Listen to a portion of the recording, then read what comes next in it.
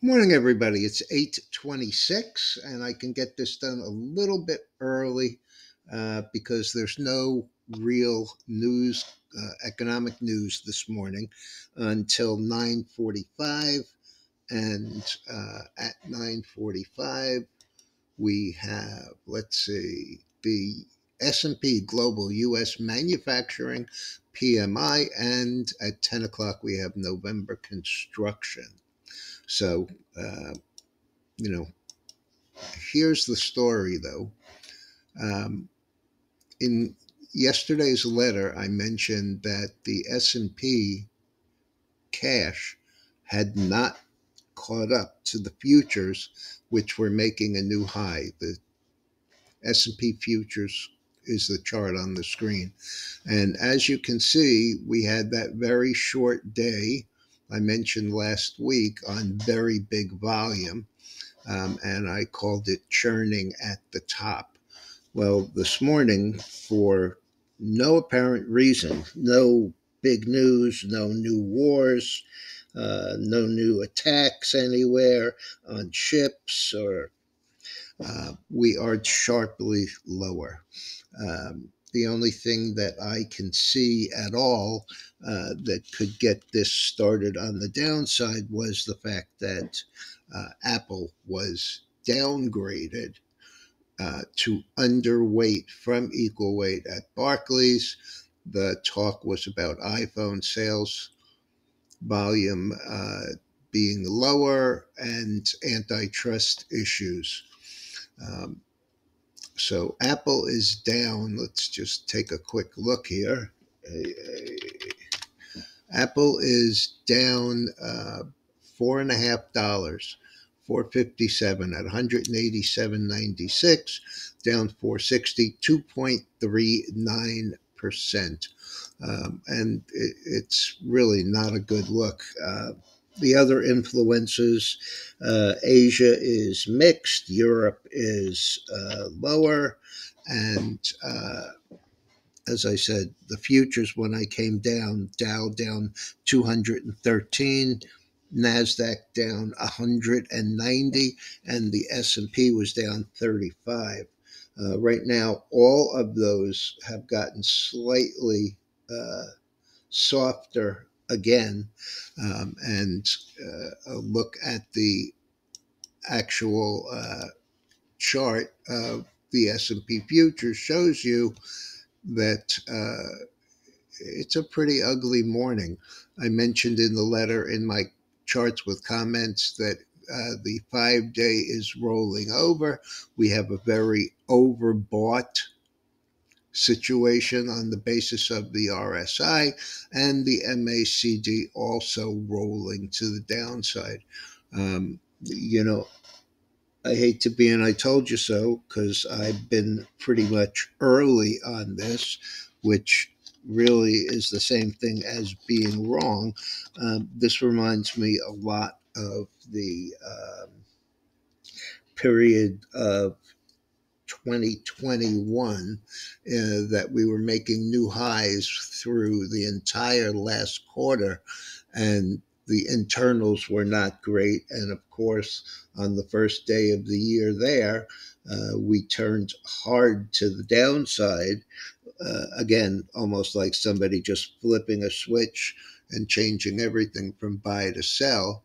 Um, I don't think we're going to see what we saw in 2022, which was a 500 point S&P move um, in the first month of the year, five weeks to be exact.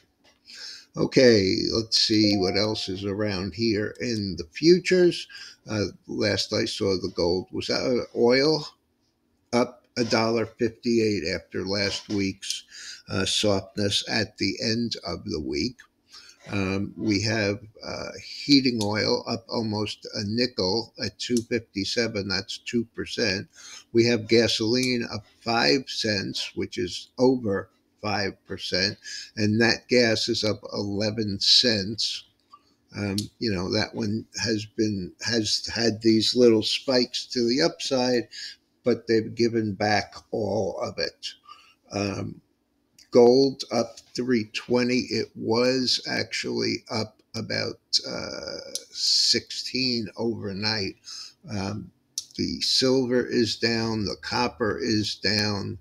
Uh, Bitcoin up 3,700, trading 46,245.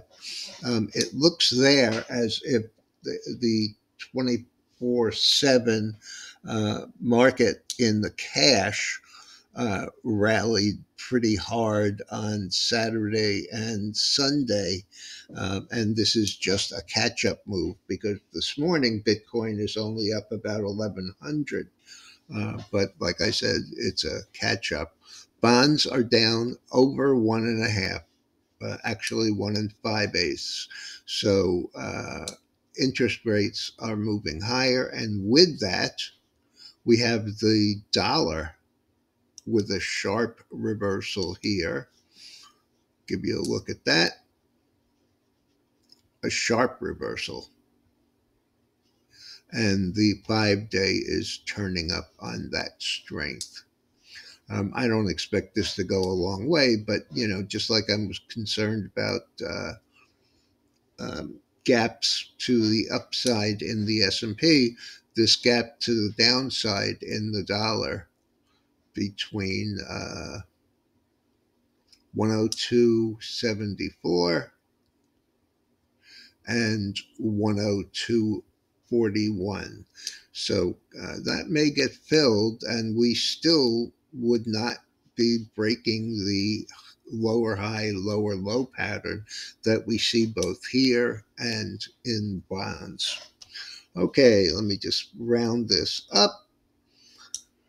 Uber reiterated as the top pick at uh, Wells Fargo, not doing anything. Tesla um, concerned about the uh, Department of Energy $7,500 uh, tax credit, and that one's down two and change. ASML uh, revocation of their export license. Don't ex- they say they don't expect current revocation of the export of the latest U.S. export control restrictions to have a material impact on the financial outlook. However, the stock is 734, down 23, or uh, roughly 3%. NVIDIA down after being named the best idea at Stifel, uh, 489.43, down about six or 1.2. Estee Lauder downgraded to hold at Deutsche Bank. That one's been downgraded really by everyone, um, and it's already down from 260 or so to 143.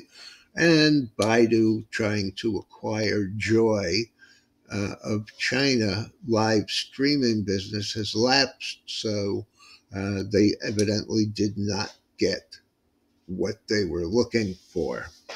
Okay, uh, Dow coming back a little down 168, down from uh, one, that 200. The NASDAQ is only down 168, slight improvement from down 190. Um, and I'll get you a fresh S&P in a second. Uh, the S&P has come back a little. It was as low as down 41. Looks like uh, down about 31 right now.